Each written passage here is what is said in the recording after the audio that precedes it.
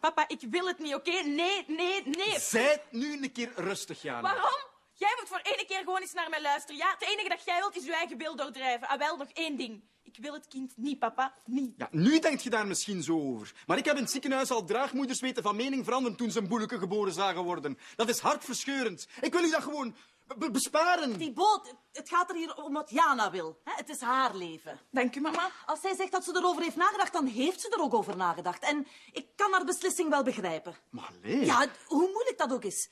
Stel u eens voor, ze, ze houdt dat kind. Dan hangt ze voor de rest van haar leven vast aan die Bram. En dat kindje zal vroeg of laat ook wel willen weten wie zijn vader is. Dus het is beter zo, Thibaut. Oké.